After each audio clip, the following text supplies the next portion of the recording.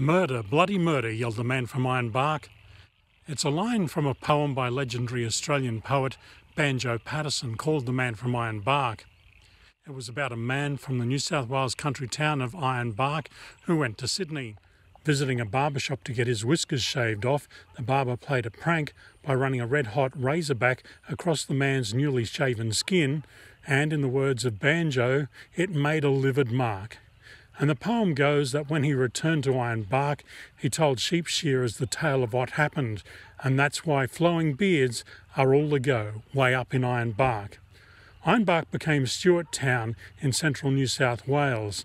It was an old gold mining town dating from the 1870s. The main Western Rail line reached Stuart Town in June 1880. The station is now heritage listed.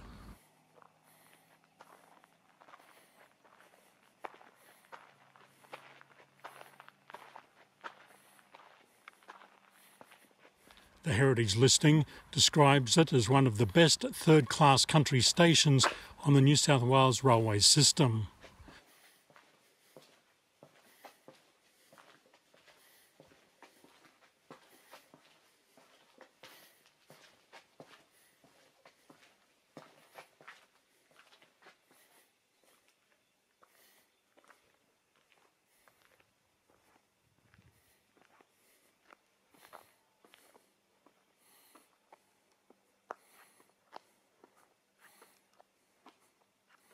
There's a station master's residence adjacent to the station, although the station has been unstaffed since 1976.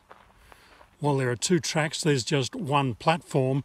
Today it gets one passenger train each day, each way, the Dubbo XPT.